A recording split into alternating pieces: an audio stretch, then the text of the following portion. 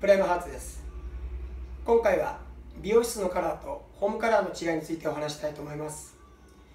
美容室でのカラーは染料の入った1剤に種類があるのと同じように2剤の過酸化水素にも濃度の違いがあり髪の状態や目的で使い分けをします。前に染めた髪の上からカラーをしても残ったカラーやダメージによって色ムラや痛みができてしまいます。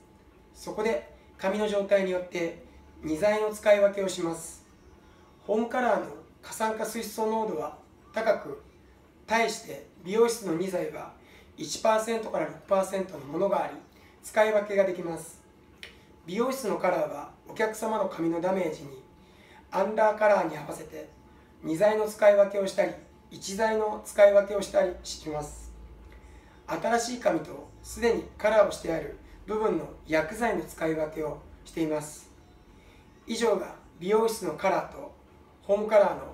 違いについてパート1でした。